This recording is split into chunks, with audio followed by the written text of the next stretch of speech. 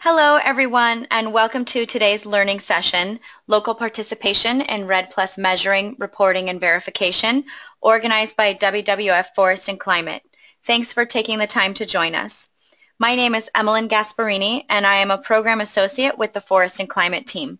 Today our presenter is Manuel Boissière from CIFOR. Uh, next slide please. Before we begin, I'd like to go over a few logistics and some frequently asked questions. For those of you who have participated in past sessions, this will sound familiar, but yes, today's presentation is being recorded, and you can find the recording within a few days on our YouTube channel. To get to the recording, simply go to youtube.com and search for WWF Forest and Climate. There are two audio options. You can listen through your computer or dial in through the phone number that was provided in your registration email. It's important to note that if you experience audio difficulties while listening through your computer, those are sometimes caused by having too many browser windows or programs open at once. So feel free to close some of them, which usually solves the issue, or you're always welcome to join by phone. If you continue to have technical difficulties, please send me a message via the chat area and we'll try to get you sorted out. Questions are absolutely welcome. You can send your questions anytime during the webinar using the toolbar on your screen. We will answer as many as possible during our allotted time, and if we have a lot of pending questions after our time is up, um, I'll follow up with uh, Manuel to see if we can get some of those answered in written form as well. After the webinar, you'll receive a link in your follow-up email with additional forest and climate resources from WWF, including a link in the YouTube channel where you can watch a recording of the session. Thank you again for joining us, and with that, we'll get started. Next slide, please. And Manuel, take it away. Thank you, Evelyn. Evelyn. Um, good morning, good afternoon, good evening, and good night uh, to all of you who are listening. Uh, so my name is Manuel Boissière and I am a scientist from CIRAD. CIRAD is a French agricultural research center for international development based in France, I, as you can guess in, from my accent. Uh, and I'm seconded to CIFOR, the Center for International Forestry Research. I'm based in Ethiopia and uh, I apologize if uh, internet uh, can be an issue. I hope we won't be uh, interrupted during this presentation. So my presentation is about uh, the potential role of local people in climate change mitigation, in particular through tropical forest management. Uh, so we'll talk about REDD, REDD Plus, and REDD Plus for those who don't know is reduction of emission from deforestation, forest degradation, but it also includes uh, sustainable forest management, forest conservation, and enhancement of forest carbon. So if you have a project on these issues, on uh, uh, the contribution of forests to mitigation. And if someone is talking to you about the role of, of, involving local communities, you will say, yes, of course, it's obvious we need to get local communities on board. Even the UNFCCC, the United Nations Framework Convention, Convention for Climate Change, consider local participation as an important step uh, towards recognition of local people's role and safeguards and it's also to build a system that will be strong, that will provide uh, good information for the greater good. But the greater good is not, necessarily the good of local people. And if the local people interest is not secured, then the system that we are trying to build with them uh, may not be sustainable. Next. So the objective of this presentation is to share uh, project results on finding the conditions for feasibility and sustainability of local participation to REDD Plus measurement reporting and verification for forest management and climate change mitigation. This project was funded by USAID and NORAD and was implemented by CIFOR in collaboration with CIRAD. Next. So first, what is MRV? What is measurement, reporting, and verification?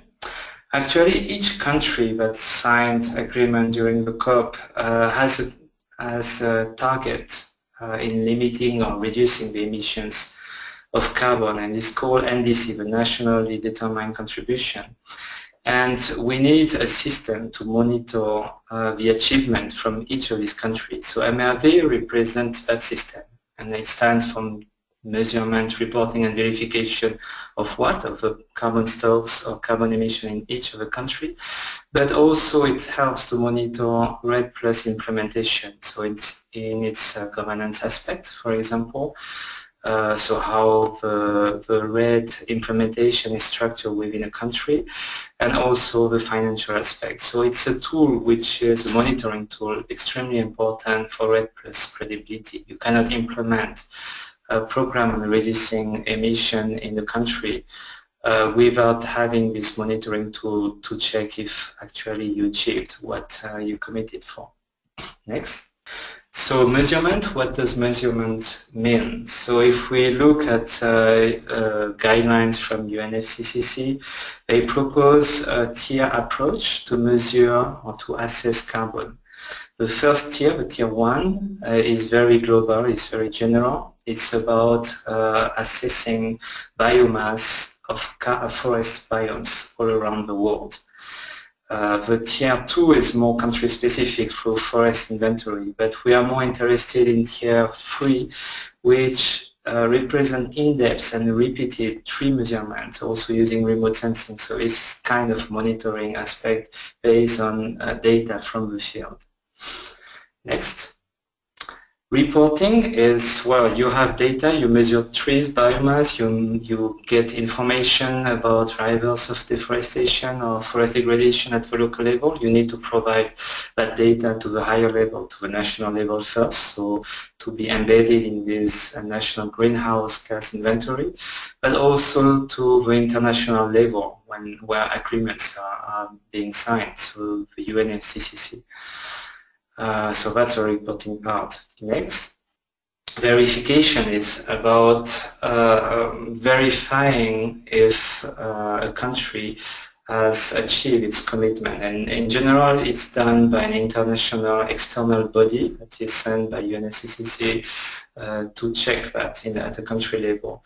Here, because we are talking about more the local level, the project level, where uh, which interacts more with local communities, I would prefer to talk about validation instead, instead of verification to avoid confusion. Next. So that was about the definition of MRV, for those who don't know. Now, what is participatory MRV, participatory measurement, reporting, and verification? Well, actually, it's to involve local people, local communities in the measurement, reporting, and validation of carbon stocks on one hand and of other non-carbon data that are required to assess the impact and co-benefits of REDD+. When we talk about non-carbon data, it can be, uh, well, drivers of uh, deforestation and forest degradation. It can be social safeguards, so how uh, um, an action has an impact on the local livelihood. Uh, next. And from the literature, so there is quite a literature uh, on that topic. Uh, from the literature, what are the claim benefits of PMRV? There are many. Uh, they are supposed to build and support social capital and engagement, to empower local people, to improve local livelihoods, to reduce forest degradation and, and deforestation, and even, uh, so there is a long list here, and even to provide monitoring at a low cost compared to monitoring that could be done by uh, experts. But there are few evidences of such benefit because there are few experiments on the long term about engaging local communities in such me measurements. Next. We, uh, so at CIFOR, we developed, we, we conducted this project called PMRV project. It was in Indonesia, project is now finished. Uh, so in which, during which we, we looked into the feasibility and sustainability of engaging local communities in uh, forest management and uh, more specifically uh, MRV.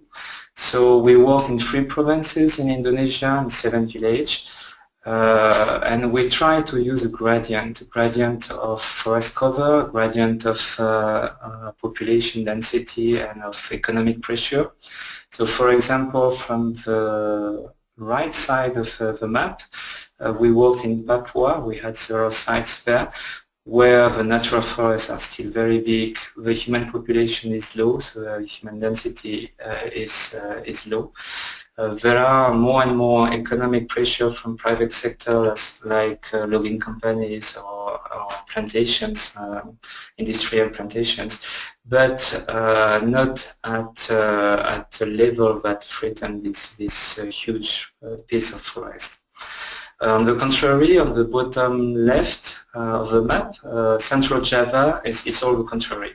You have no more natural forests, all the forests are planted, very high density of population, it can be more than 1,000 per square kilometer.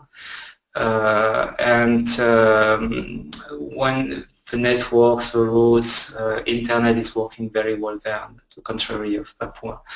West Kalimantan, um, the top part of the map is a bit in the middle where it's a mix of between plantations, natural forests, a lot of, uh, of uh, economic pressure and a population density which is a bit between. So that was an interesting uh, sample uh, to compare how people will react and how interested they would be in participating to, to MRV.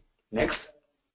So uh, my presentation is based on uh, the work on, uh, on this PMRV team from CIFOR. I want to say a few words about them because they, they are composed of brilliant young scientists from very different disciplines, remote sensing, GIS, uh, social science, uh, and even health. Uh, and without them, I couldn't report any of the results of our research. Uh, we published several articles in a collection, a special issue of PLOS ONE. Some are published, some are going to be about to be published. And for most of these, uh, these scientists, these, these are uh, first publications, so I'm very proud of their work. Um, from this collection, so there are five issues that need to be considered uh, for participatory approach to MRV. First is the stakeholder in involvement who should do it. Uh, second is the motivation. So local communities be part of this? Yes, but what is their motivation? The third is about knowledge integration, especially how high-tech uh, can play a role into that. Uh, then fourth is multi-level governance, especially important when we're talking about reporting, about bringing this information collected by local people at the local level to national and international levels. And fifth is social safeguards, so how um, REDD Plus or any activities we can have at a local level can impact local livelihoods and how can we prevent from negative impact. Next. Some results from this project, uh, from, from this CIFOR project. Here is just to say a few words about these pictures. It's was taken in one of the village uh, of our project in uh, West Kalimantan and you can see here a very uh, diverse mosaic of land use in, in this landscape. next. So first about stakeholder engagement. Who should be part of this PMRV? Next. So the usual suspects first are the trained professional. Indeed, very important to check the credibility of what is measured, how it is measured, the scientific credibility, how it, what what data, what kind of data is is provided to this national database. So trained professional are necessary, but also governments, because governments will have to integrate all this data on forest biomass, on drivers of deforestation, of, of degradation, on changes in the local livelihoods to the national level, to the national database. They are in charge of that. They also have to validate uh, this data to report them to the higher level, to the international level. And the NGOs. The NGOs are close to local people. Uh, normally they are working in villages or near villages, so they are very important to make the link with local communities and they have a big role in facilitation. And of course local people. Local people, why? Because they have a local knowledge of cause of land use change and they are very close to the forest and the trees that we care about. Next. Second is about motivation, motivation of local communities to participate. Next. Uh, local people will participate to in MRV only when first it matters to them, so it needs to be relevant to them, And secondly, they have time because most of these activities of patrolling, of uh, reporting, of contributing to uh, taking part into meetings, that takes time and is very far from their normal livelihood activities, which in these areas are about farming, fishing, hunting, etc. Next. We lack concrete example on the long, of a long-term PMRV for carbon, for forest inventories uh, involving local people. It can be at the, at the, um, during the life of a project, but the, when the project is finished, it's rare for that uh, monitoring activities to continue. But we have other examples, and that's one thing that we, we studied during this project. Uh, it's about a highly motivated PMRV, not related to forest, but related to health in Indonesia, so this children and maternity health monitoring. When in, for a very long time, we will talk a bit more into detail later, but I'll explain a little bit. For a very long time, uh, women uh, in, uh, in each village of Indonesia are uh, monitoring the health condition of newborn, of pregnant women, and reporting that to the higher level. And we asked them, we conducted several uh, in-depth interviews in each of the village uh, where we worked, and we asked about what is their motivation to do so. And so the, the results were these first for personal interest because uh, most, a lot of these persons are pregnant women, so taking part of these activities or a young mother. Uh, second is that they believe, genuinely believe that this will benefit to the community uh, to contribute to this activity. Uh, and then another one is they were requested or asked by respected people, person in the village to contribute to that activity so they cannot escape from, from that uh, responsibility or duty. So this is uh, really interesting because that was very obvious for this health sector when on the other side we had a study on the forestry sector and that was much less obvious. Uh, local communities in the in the forestry sectors will will be will get engaged in monitoring activities in reporting uh, crop, crop or timber production or whatever to the forestry sector, but only if they are paid or if they have a direct interest, and that interest was not obvious. Next. Uh, but we identified um, uh, different source non-financial motivations uh, to participate to MRV uh, in this village where we worked. And one of these uh, motivators is land tenure. So we think that's, that's quite an important issue, so I would like to spend some time talking about it land tenure security especially could work really as an incentive for participation in MRV because in a lot of uh, sites where we worked, people felt insecure uh, regarding their land rights and negotiating more security. So that's that's a big topic. I will just uh, briefly talk about it. But negotiating about about uh, bigger, more security in uh, in land rights could be an incentive for them to participate in MRV and, and REDD activities. Land tenure also could be important for benefit distribution uh, of PMRV activities when there is some in financial incentive to distribute, then where, to whom and how. So uh, how the, the, is organized in, in the village can be helpful to, to that. And then it will inform also about a different source of authority statutory or customary for conducting MRV. If you want to conduct any activity in the village, you don't just go to that village, talk to the head of village, get his authorization, and then that's it. You do conduct your activities, but you have to understand how the village is structured, who are the different uh, customary leaders, and uh, how the village is shared, so the land tenure, and uh, what clan is responsible, who has right on what part of the, of the territory. When you go to conduct activity there, you need to secure uh, authorization from these people. Next, so to talk about a bit more into detail about this tenure arrangement, Um, I would like to share some examples from our three sites uh, about the complexity of tenure arrangements. I think that was really surprising to me to see how different it can be in three different sites but in the same country.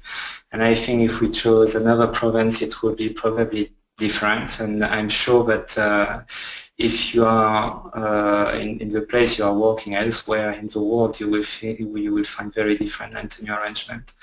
So here uh, on the left, the left figure is about Java sites.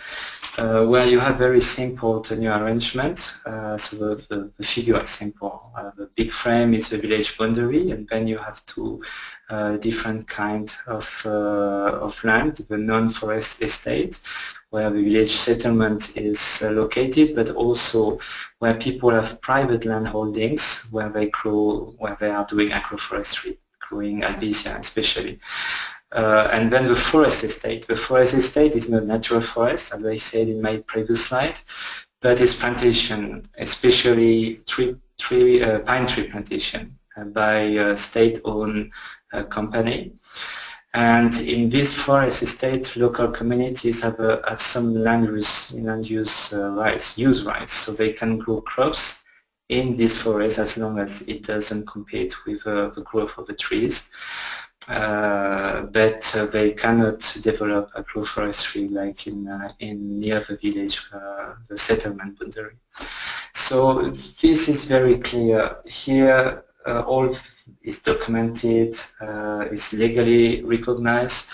Uh, you have uh, land rights certificates issued. So that should be the most secure place uh, in all our sites. But villagers in these sites felt still felt insecure because they had to fight to gain these rights and uh, and they, they fear that it may change anytime.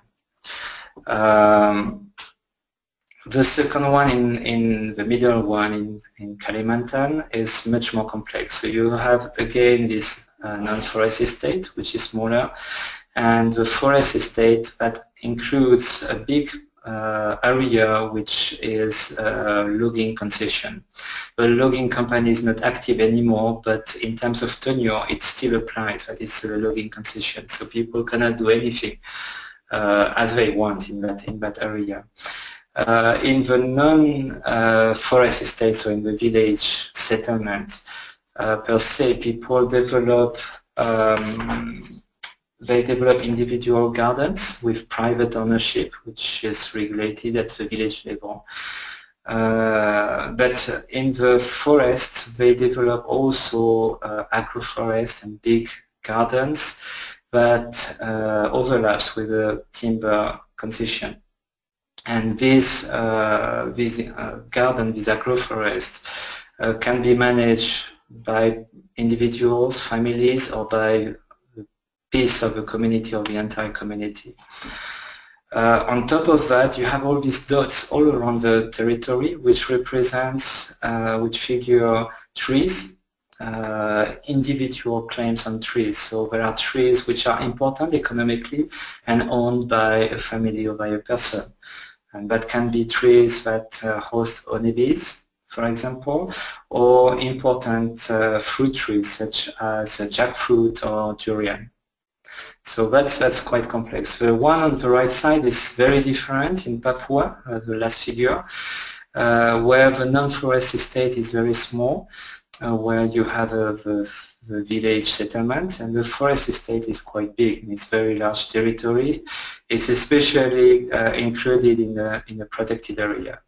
So villagers have uh, individual gardens in, the, in near their settlement, and uh, in the forested part, they will, so it's natural forest, they will also have big uh, sago groves that can be individually or in family, clans or at a vi village uh, owned uh, level. What is interesting here is that as when you go further from the village, so on the border, near the boundaries of the village, you have overlaps with other village territory. And here the land use right near the border is most flexible uh, villagers from each site allow village villagers to hunt, to fish, and to extract timber or NTFP uh, so in, in either territory, they don't say this is my territory and you need to get out. So that's quite interesting different approaches.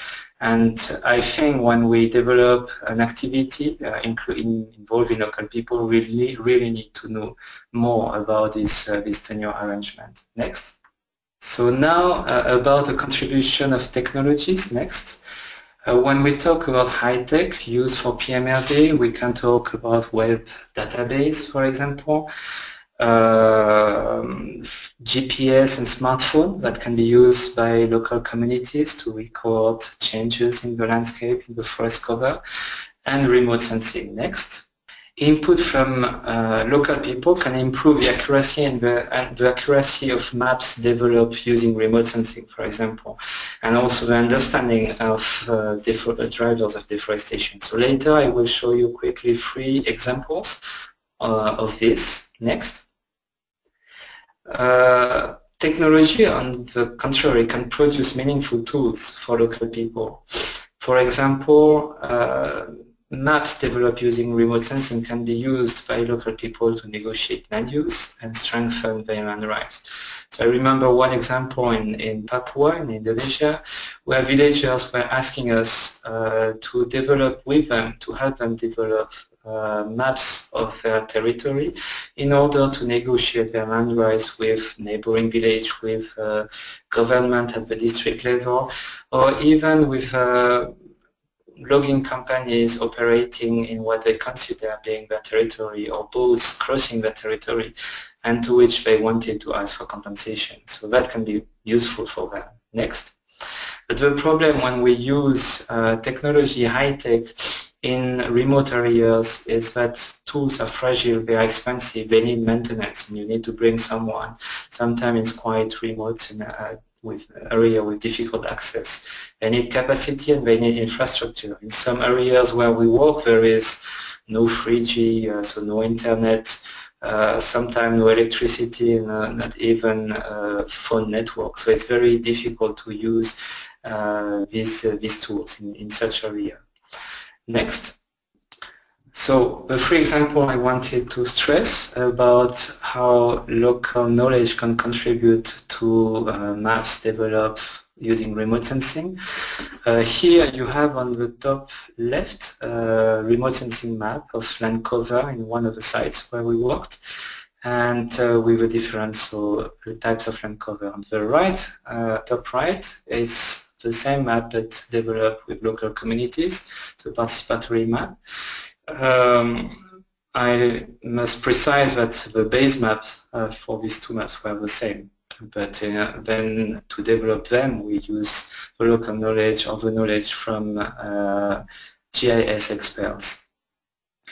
On the bottom part is when we overlap these two maps, and the red uh, spots show uh, mismatch between uh, the map from developed using remote sensing and the one only, and the one using uh, participatory uh, mapping sorry, participatory approach. So this is not to say that one way is better than the other, that uh, one is wrong, one is right, but it's more when we are when we want to do some validation, uh, verification, when we want to do ground check, uh, instead of doing ground check randomly or ground check according ecosystem, we could look into uh, these red spots and, and check only the, those parts to, uh, to improve these maps. That's one example. Next, the second example is what uh, local people can provide in terms of information using participatory map of land use on the left and of land cover on the right. So in land use, you have uh, an enormous quantity of information that community, local communities can provide and that are very difficult to get using remote sensing only. Uh, on when we talk also about land cover, local communities at the scale of a village territory can go much more into detail. Uh, for example, they can differentiate uh, smallholder rubber plantation of different age, something which is more difficult to do using remote sensing if we don't use uh, very, very expensive and high-tech uh, remote sensing. Uh, next. The third example is about uh, land use land cover dynamics and the historical change. So that's very important. Uh, when, when we look at a map of a land cover at a certain time, uh, that represents sometimes the addition of many years, generation of land use of that area. And villagers can provide detailed information on the history of the current land use and land cover. So in the in the figure uh, on the right, you see so the numbers are the location of the same village, but that moved in during like the last 30 or 40 or 50 years. Uh, the number one is the first uh, village location, and they they move they split in two villages at some point, so the two number two, and then they uh, merge again in the final settlement, the current settlement, which is the number three. And you see the area delineated by the uh, dotted uh, line uh, show how the land use, which was hunting, gathering, gardening, how did it move uh, with the time. So it's important to have this understanding to interpret uh, land cover maps uh, at the present day. Next. So now about the reporting aspects. Uh, so okay, we know that we could technically, and there can be some interest, negotiating, and some motivation of local people to collect information on forest cover, on drivers of, uh, of uh, deforestation at the local level, but how to provide, to bring that to the national level, and what role could be for local people in reporting. And that role is until now not very clear. Next. So on top of that, when there are, there are data collected by local people, this data need to be uh, standardized in order to be embedded in a national database. You need the same kind of data everywhere at the country level. Uh, otherwise, it would be a total mess. Uh, so one of the papers we had uh, suggested that an external facilitator could play that role in aggregating and reporting the data, like uh, NGO, which is regularly in contact with local communities. Next. Another paper, which was not part of uh, our project from Pratia Astana over uh, in a different country, uh, next please, suggested to use a simple online system, so like web database that might facilitate near real-time reporting and aggregation. So that needs, that's supposed to have this PDA, this smartphone, uh, for local communities and to have enough uh, internet so for them when they embedded information in, in their PDA it would be automatically downloaded in the website. So that's a solution. Why not? Another one, next, uh, is based on this healthcare system that I was talking about, uh, so uh, which was very successful. I, I will talk a bit more about it. Next, please. So this healthcare system has existed for a very long time uh, in Indonesia. And for me, that's, that's a very successful reporting system. So it existed since the 80s in all the villages in Indonesia. And local communities were, so as I said before, organized to monitor health conditions of uh, newborn infants and pregnant women.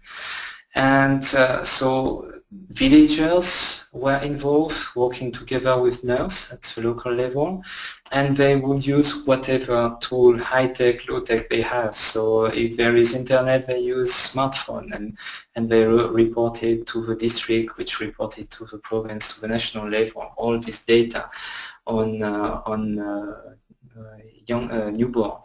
Uh, and if there is no uh, no high tech available, then they will write it on paper and bring it uh, by boat to the district whenever they can. Uh, so that's very interesting because it works, it reaches the national level and it uh, leads, it guides health policy at the national level. For example, uh, if there are issues of malnutrition that will trigger action from the national level uh, to help at the village level with very specific village. Next. Well, so we talked already about the motivation for people to take part of this, but we didn't talk about what incentive they can get. So the first incentive we found uh, to contribute to that system is the recognition from the community and higher level in the system, which are the health uh, administration at the, at the provincial and national level. Uh, so recognition of a contribution. Another one is they will benefit some time of training programs on health issues. Uh, and the last one is financial incentive. It's not very big. Sometimes it's like 20, 30 dollars per uh, per month, but in villages where it's very difficult to get any cash income, it can be something significant. Next. Last, uh, last part is about social safeguards. So any activity uh, that we are doing on MRV, on PMRV requires social, social safeguards. So the first thing we need to know is that local people have really limited interest in REDD Plus carbon monitoring per se. If I was asked to do that in my village, I, I don't think I would be really interested. But next, but they have the experience, they have the skill, and most importantly, they have interest in observing uh, how the forest is changing in their territory. Next. So this assessment gained not only from the understanding of change and drivers of change, next, but also uh, from the understanding of the importance of this process for the local people. So when we say an activity, uh, we identify an activity which is we, we, which uh, degrade forest, which trigger, which is a driver of deforestation, we need to understand how important it is for local people. Next. And any action uh, correct from uh, REDD uh, plus activity program implementation to reduce deforestation and forest degradation should focus on options with less negative impact on local people. Next. So I will talk a bit more about this, how intervention should take into account the local livelihood. On the uh, upper right part of the slide, you have different uh, extractive activities that may be source of uh, degradation and deforestation. So rubber, sago garden, uh, shifting cultivation, timber, and artisanal gold mining. And then the pictures you see show each of them. So from the top right to the bottom left, you have uh, rubber tapping and then uh, extraction, shifting cultivation, extraction of uh, timber, I think it was in Java, and uh, gold mining. So the figure shows in, with the x-axis uh, the percentage of households involved in these activities. Uh, the color represents the activities and the square, a small square, represents each village. The y-axis represents the contribution of these activities to the household income. So uh, the higher is the more important in the household uh, income. So what can we see from this from this figure? Uh, if we look at the quadrant one, for example, we will have a number of activities, of extractive activities, which are uh, implemented by a very big proportion of the households in the village and which are source of a major uh, cash income for these households. So if we have an activity that will, an intervention that will impact, uh, that we try to change these, uh, these activities, we need to be very cautious because the impact on local livelihoods will be important. On the other side, the quadrant 4 shows activities which are conducted by very few uh, amount of household and that don't uh, provide a lot of income for these households. So maybe that's something to, to look more into. And this for this is for cash income, but we could also develop this kind of uh, of uh, figure for source uh, of food, for example, for these households. So I think knowing this can be quite important when we have a project with interventions planned. Uh, next. Uh, in conclusion, so what are the potential and challenges of developing this participatory MRV?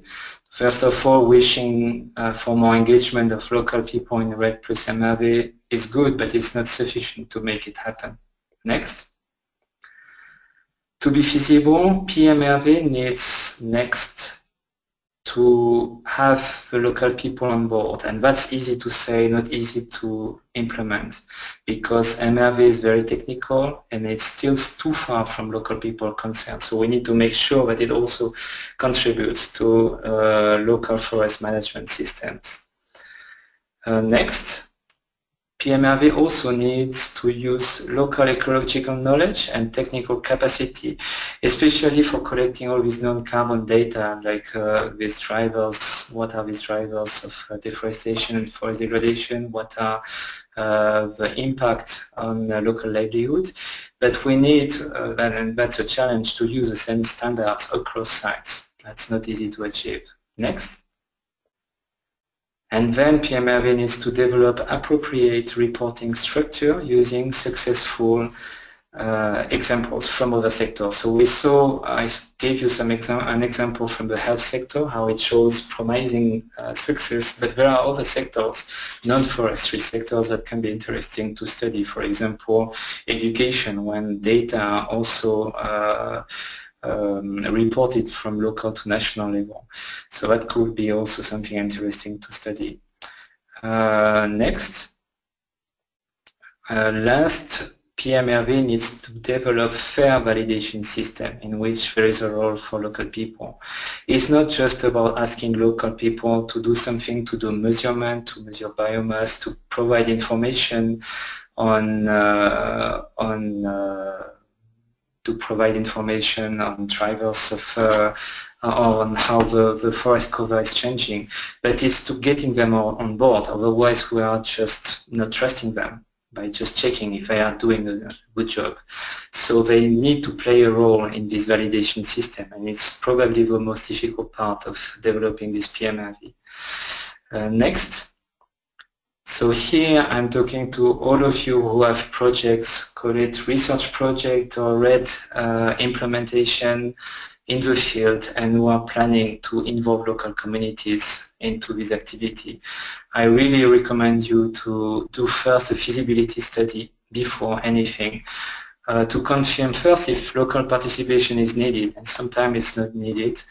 Uh, if it can be secured, uh, considering how appropriate, how important it is, it can be for local communities, and to select approach adapted to a local context. Uh, next.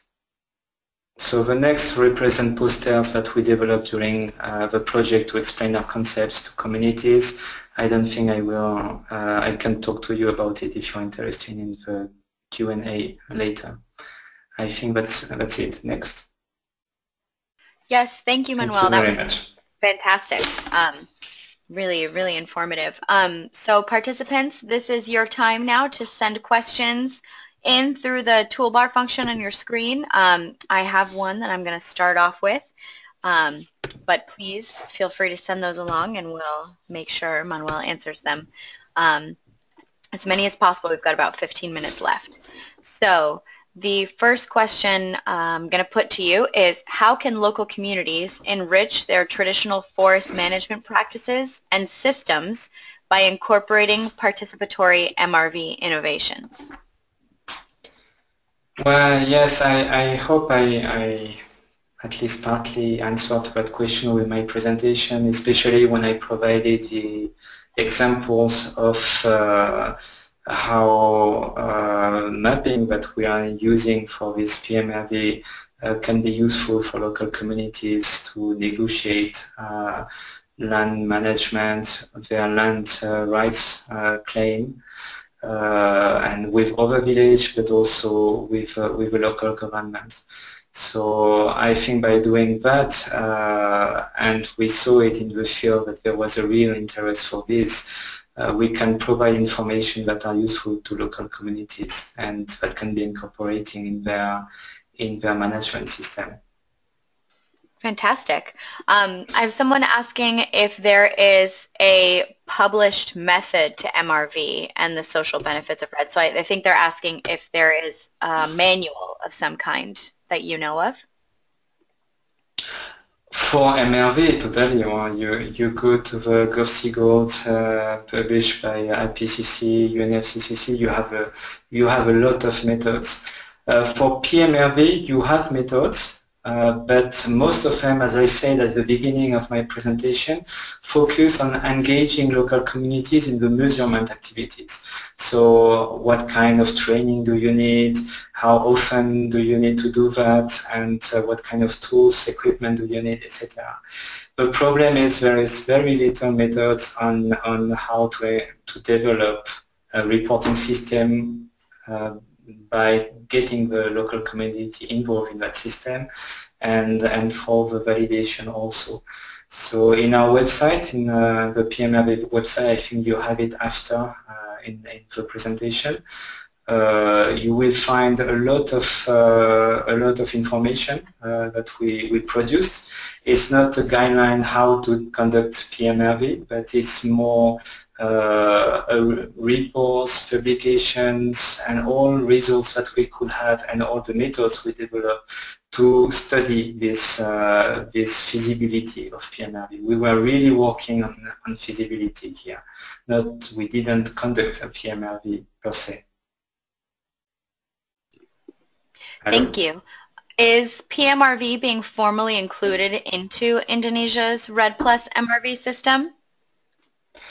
Uh, I don't think so. The REDD Plus uh, so has has uh, embedded social safeguards uh, into their system. So that's something they they are really developing something uh, that tries to take into account the impact of REDD Plus on local livelihoods.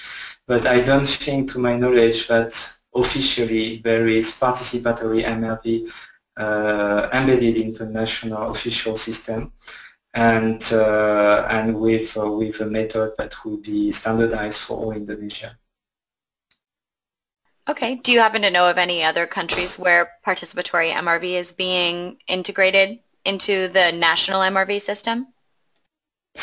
Uh, not to my knowledge. I know that where I am working in, in Ethiopia, uh, we had many talks with the REDD Secretariat here, and they really want to embed that in their system. So they are working with NGOs who have developed pilot uh, activities on that. Uh, but I think uh, until it becomes something official, uh, the, the, the, road is still very long. And uh, maybe some of the participants uh, could provide me with more, more information, more experience on a system that has been officially recognized at the local, at the national level and, and, and applied everywhere in, in the country. That would be very interesting for me to know. But as far as I know, no. I think there are examples of, of Tanzania where you have really monitoring activities from the local level that reach the national level and that works very well for many years. But I'm not sure we can talk about PMRV in that case for REDD Plus. Okay. Um, uh, someone is asking how you use smartphones um, in the mapping. So can you explain a little bit more about maybe one or two examples of how you used technology in these yeah. projects? Yeah, so I, as I said, uh, that part was not part of our project. It's uh, it's a method that was developed by someone called uh, Arun Pratihast, and I put uh, uh, the name uh, on that slide. So it's a different activity during his PhD in in in Netherlands where I try to see how this kind of tool can be used and uh, and how people can be trained to to use it. And uh, using smartphones regularly going to check if everything uh, is going well with a very simple system uh, to detect changes in the landscape to make pictures uh, and with a GPS coordinate and when people are clicking on it, it goes directly in, in, uh, in a database that uh, was developed by that person. So I think the best to have more detailed information would be to read uh, his paper first, his papers because there are several, and, um, and, and to talk to him directly. In our project, we used, uh, because that was really a research project on feasibility, so feasibility study, we used high-tech, but uh, we were the one using it and providing like maps on the paper or uh, satellite uh, image to local communities in order to talk with them about their uh, the, the, forest cover in their territory and how it changed and where, and then going with them uh, doing ground check. And we were the one using the GPS mostly, most of the time. So because that was a research project, it's a bit different. But uh, by doing this and using this smartphone uh, in a REDD+ project, I think from that publication of uh, Dr. Pratihast, you will have much more information on how it can be done and what are the limits of this approach. Thank you. Um, is there an optimum size of local trained people to um, assist in, in PMRV or is it just however many people you can um, include? This uh, I don't I don't think it's about the size uh, of uh, like the number of people who could be engaged in this activity, but it's more about the size of the, the territory we are talking about. Uh, for example, when we were working in central Java, we would have uh, a village territory which would be a few hundred hectares. So it's not very big and, uh, and with thousands of people in it. Uh, but in Papua, uh, so in Indonesian uh, New Guinea, uh, one village territory which uh, could be a million hectare for one village, and you will have in that village a few hundred uh, people living in it. So the, the, problem is not how many people you need as a minimum to conduct participatory MRV, but more how many people do you need to conduct MRV in territories that can be very big and, and, and so part of it uh, pretty inaccessible. Uh, so not after like a few weeks of, uh, of using a pirogue or, or, walking. So I think this is where this collaboration and this participation, like, like at the beginning I was talking about who are the stakeholders and, and experts should be part of it because this is a mix of what we can provide using remote sensing, GIS, so all the technology that we can put into the, the balance and what local communities can provide uh, with all the knowledge they have of their territory. And that's the combination of the two that can provide information in very large territories. So the problem is more the size of the territory than the size of the group involved in the activity. Thank you just sorting through questions to find the next one. Um, did you experience any difficulties um, regarding the educational level of local people in incorporating them into these PMRV programs? So once again, that was a research on PMRV. So we didn't really conduct uh, PMRV with villagers, training them to use tools and uh, to uh, to report. But we con- during the the different household surveys that we had, we conducted uh, a survey of education level and to see uh, what was how many people were uh, graduated from high school, how many people were from uh, elementary school, and uh, how many people were, were illiterate and uh, we try to compare within the, the, different villages. But because we didn't conduct an, an, an MRV activity with them, it, it would be hard to say why it works the most. Uh, what I can say is the, the motivations could differ among the village according to the level of education they have.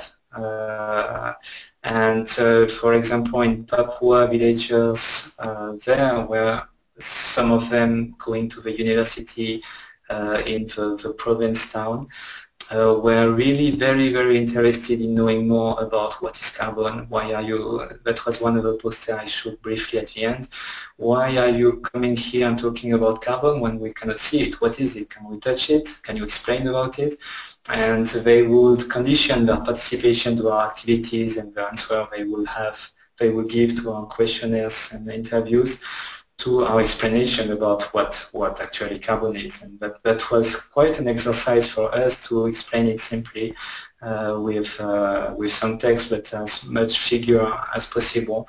And uh, I, I, think it was a good in, exercise even for us. Thank you. Um, in terms of the local governments in those places, did you have conversations with any representatives from those institutions or those um, structures about whether they would be interested in supporting PMRV in their you know, districts or provinces?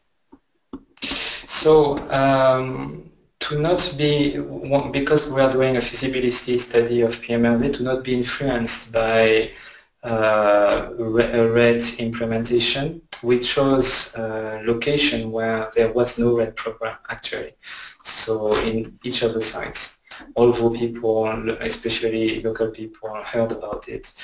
But uh, so to, to embed PMRV, to, to start using uh, PMRV, you need first to have like this idea of we need to have information on how the forest cover change and you, because we are going to implement um, a REDD intervention in that, in that uh, area. Uh, see, this is something we didn't do, but we secured, of course, uh, authorization from all the levels of the government, including the local, and we explain uh, our ideas and I think we, we, we had quite a lot of interest from, the, from each government. Uh, at the end of the project we produced um, a report in Indonesian language that we shared, we sent to, to each of the organization, governmental and non-governmental organizations and villagers to know more about uh, our achievements and what we found. Uh, now will be the next step.